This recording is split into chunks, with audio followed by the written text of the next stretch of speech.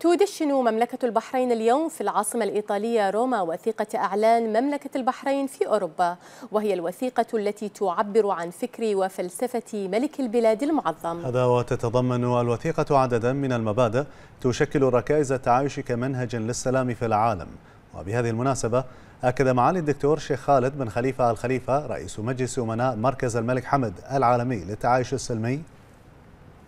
أكد أن وثيقة إعلان مملكة البحرين التي خطها جلالة الملك المعظم نصا وفكرا تنطلق من أسس تاريخية حول التعايش في البحرين والنهج الديني القويم. كما أكد أن انطلاق وثيقة الإعلان في أوروبا يشكل مرحلة هامة لتعريف المجتمع الدولي بأهمية ما تتضمنه الوثيقة من بما يعكس النموذج البحريني في التعايش السلمي. وقال إن إعلان مملكة البحرين حظي بإشادة من قداسة البابا فرانسيس بابا الفاتيكان خلال زيارته التاريخية للمملكة في نوفمبر من العام الماضي. وأكد خلالها أن الإعلان يعتبر وثيقة مهمة لاحترام حقوق الإنسان والحوار.